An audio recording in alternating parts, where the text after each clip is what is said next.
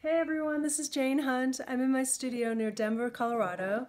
Today I'm going to show you some of my favorite things.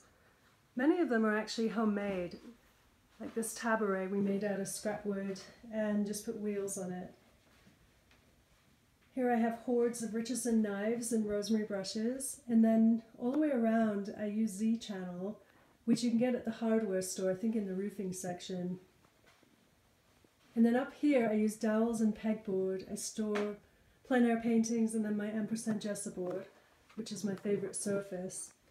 And then this is indispensable. I made this out of plexiglass and wood, and it keeps my paints workable for days longer, especially if I use a little sponge with clove oil in there.